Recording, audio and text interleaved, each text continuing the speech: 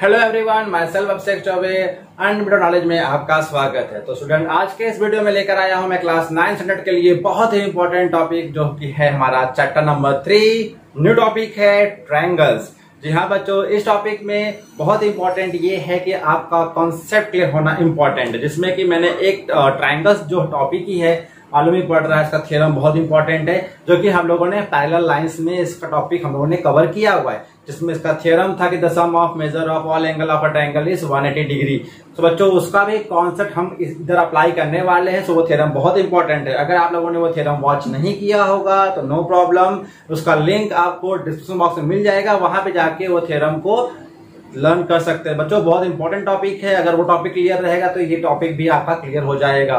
तो बच्चों, इस टॉपिक में बहुत इंपॉर्टेंट है। एक और थ्योरम जैसे कि आप लोगों ने वो थ्योरम मैंने कहा था थ्योरम इंपॉर्टेंट है। वैसे ये थ्योरम भी इंपॉर्टेंट है। The theorem of remote interior angle अब theorem of remote interior angle बोलता क्या है? ये बोलता है कि the measure of an exterior angle of a triangle is equal to the sum of its remote interior angle so बच्चों, अब ये जो मैं थ्योरम बोला एक्सटीरियर एंगल इंटीरियर एंगल ये होता कैसे है, बनता कैसे है, और इसका क्या यूज़ है? तो बच्चों, पहले इसका हम कॉन्सेप्ट क्लियर करेंगे कि remote interior angle and exterior angle क्या होता है। इसके बाद हम लोग करेंगे ये थ्योरम तो चलो बच्चों, करते हैं शुरुआत कॉन्सेप्ट और बेसिक के साथ।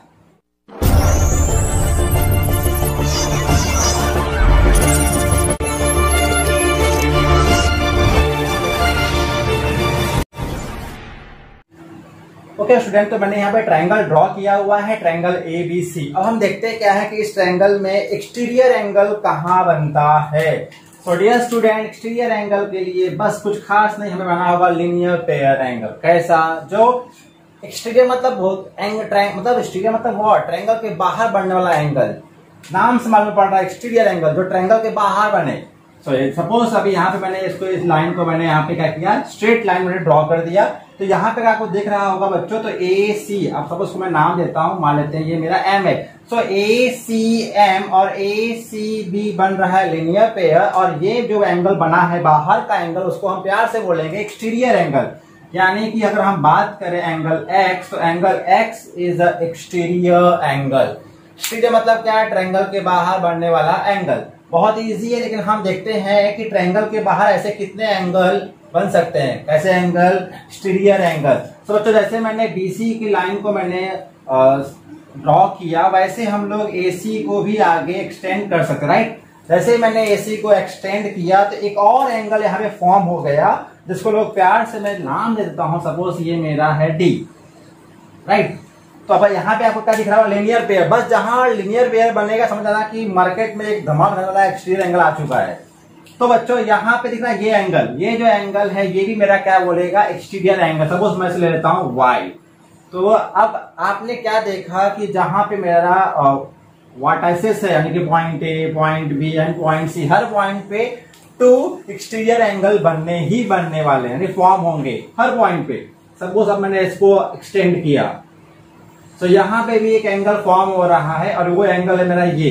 सपोज़ को मैं लेता हूँ स्मॉल ए और मैं ए बी को भी मैं एक्सटेंड करूँ तो यहाँ पे भी एक एंगल फॉर्म हो रहा है बच्चों, और उसका मैं लेता हूँ स्मॉल बी और ऐसे लेता हूँ मैं क्यू तो बच्चों, यहाँ पे देखेंगे ए और बी क्या बन रहा है? एक्सटीरियर एंगल बाहर बन रहा है राइट सिमिलरली मैं अगर बी को एक्सटेंड करता हूँ और ऐसे ले लेता हूँ मैं जेड तो ये जो एंगल बना एक्सटीरियर एंगल सपोज़ मैं लेता हूँ वाई सिमिलरली बच्चों, में ए बी को अगर मैं एक्सटेंड करूँ ऐसा तो ये जो एंगल बन रहा है इधर, ये एंगल यानी इसे ले लेता हूँ जेड तो ये मेरा क्या बन रहा है? एक्सटीरियर एंगल तो इससे हमें ये मालूम पड़ेगा कि एक ट्रायंगल में कितने एक्सटीरियर एंगल फॉर्म हो सकते हैं। कितने सकते हैं? स्मॉल ए स्मॉल बी इधर दो बन गया। एक्स और वाई इधर। ऑलरेडी मैंने वहाँ पे वाई लिया हुआ स्टूडेंट तो इसे हम ले लेते हैं स्मॉल डब्ल्यू तो एक्स और Y exterior angle similarly, w and z is exterior angle. ये स्मॉल जेड है कैपिटल जेड तो कंफ्यूज मत होना। और इसे भी मैं कुछ नाम ले देता हूँ। सपोज़ ये है मेरा टी तो small W small Z small A small B small X small Y यानी कि there are total six exterior angle ठीक है तो कॉमन सेंस है, अगर आपके फ्रेंड ब्लैंक्स में या कहीं भी पूछ सकता है कि ट्राइंगल्स में कितने एक्सटीरियर एंगल फॉर्म होते हैं तो आप बोलने का सिक्स एंगल यानी कि सिक्स एक्सटीरियर एंगल क्या होते हैं? फॉर्म होते हैं। तो बच्चों, ये था मेरा एक्सटीरियर एंगल अब बात करते हैं इंटीरियर एंगल के बारे में।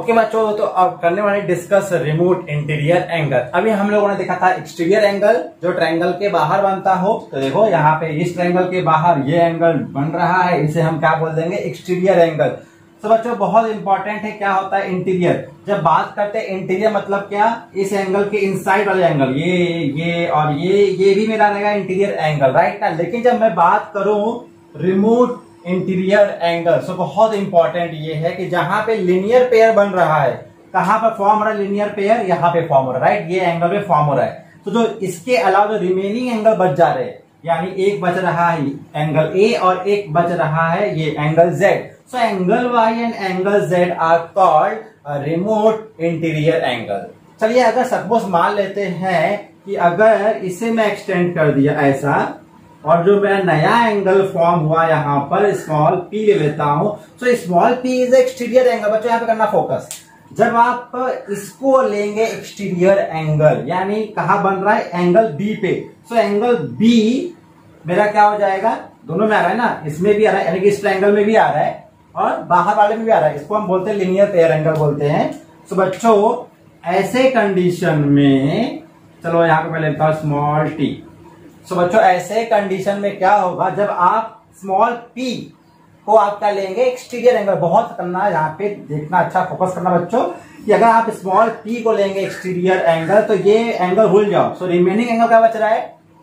वाई और टी तो इसके लिए, इस स्मॉल पी के लिए वाई और टी क्या हो जाएगा? रिमोट इंटीरियर एंगल तो ये मान लेते हैं कि अगर हमारा एंगल इधर बन रहा है, ऊपर साइड बन रहा है।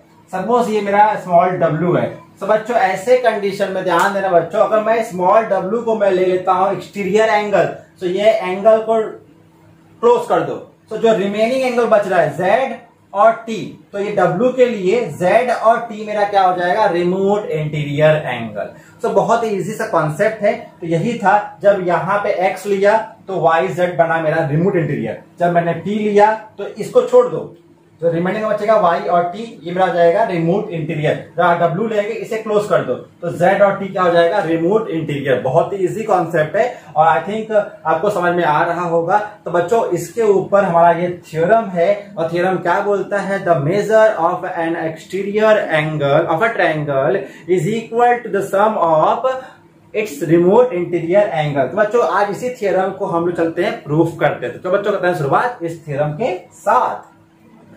ओके okay, बच्चों तो इस चैप्टर में ये थियरम बहुत ही इंपॉर्टेंट है और ये थियरम क्या बोलता है? मैंने पहले ही बोल चुका है कि the measure of an exterior angle of a triangle is equal to the sum of its remote interior angle तो बच्चों ये मैंने ट्रायंगल ड्रॉ कर दिया है already in this triangle A B C in this triangle A C D is a exterior angle ठीक है?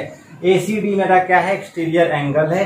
ये क्या बोलता है कि हमें प्रूफ क्या करना है कि जो एक्सटीरियर एंगल का वैल्यू होगा मैंने क्या जूम किया है? ए वो जो ए होगा ना, वो रिमोट इंटीरियर एंगल के इक्वल होगा, यानी sum of remote interior angle यानी हमारा, अगर मैं ए ये मेरा, क्या है बच्चों?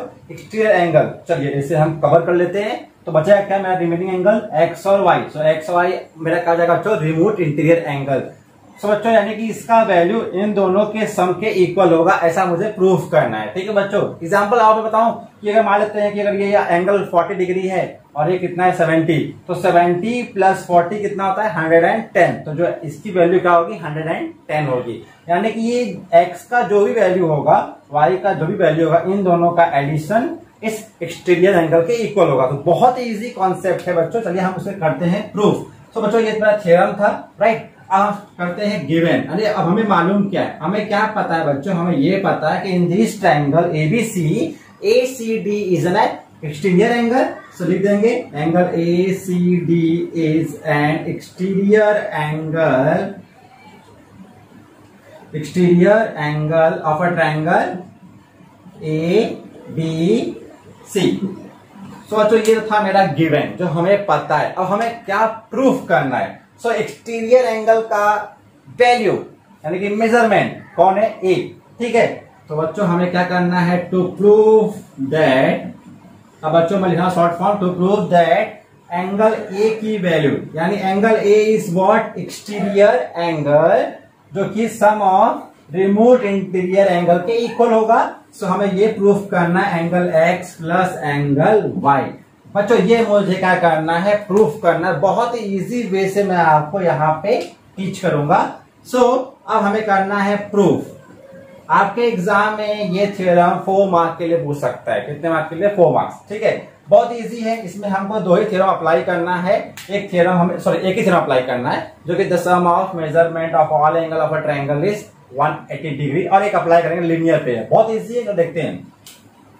बच्चों ट्रायंगल एबीसी में अगर देखेंगे in triangle ABC in triangle ABC small X small Y small Z देखो small X small Y small Z is equal to क्या जाएगा? 180 डिग्री इसे ले लेंगे क्वेश्चन नंबर वन यहाँ लिख देंगे बच्चों reason property of a triangle बस, चलेगा. Property of a triangle you can write यहाँ property of a triangle so बच्चों बहुत इंपॉर्टेंट है रीजन लिखना। जो भी आपका स्टेटमेंट आ रहा है, वो स्टेटमेंट कैसे आ रहा है, क्यों आ रहा है जोमेट्री में रीजन लिखना बहुत इंपॉर्टेंट है। अब बच्चों, ये तो था मेरा the sum of the sum of measure of all angle of a triangle is 180 degree तो बच्चों, ये तो था बहुत इजी कॉन्सेप्ट अब देखो, यहाँ करो फोकस जेड और a बच्चों अगर मैं z और a को ऐड करूँ इस z और a को मैं अगर ऐड करूँ तो क्या बन जाएगा? Linear pair angle so angle z plus angle a is equal to one eighty degree question number two this is बच्चों लिनियर पेयर एंगल सो बच्चों अब आपका आंसर ऑलमोस्ट आने ही वाला है. सो so, वन को देखो टू को देखो वन को देखो टू को देखो वन को देखो टू को देखो. ये है मेरा लेफ़्ट हैंड साइड जिसका वैल्यू क्या आया है? हंड्रेड एंड एटी ये है मेरा लेफ़्ट हैंड साइड जिसका वैल्यू क्या आया है? हंड्रेड एंड एटी तो बच्चों, बहुत इजी है, अगर किसी का right hand side right hand side equal होगा तो लेफ़्ट हैंड साइड और लेफ़्ट हैंड साइड क्या होगा? इक्वल होगा. So you can say that from one and two from one and two we get what we get? Angle x plus angle y plus angle z, which are equal to angle z plus angle a अगर आपको ऐसे समझ में नहीं आ रहा है तो कुछ नहीं करने का। 180 यहाँ पे लिखा बच्चों। ठीक है, यहाँ पे लिखा है 180 राइट ना तो z प्लस ए किसके इक्वल है? 180 के। तो जहाँ पे 180 I can write z plus A बहुत इजी है। देन यहाँ पे देखो, बच्चों, z z get cancel. So, therefore so therefore next step हमारा आ जाएगा angle x plus angle y is equal to angle a. That's mean हमारा आ गया बच्चों final answer angle a is equal to angle x plus angle y.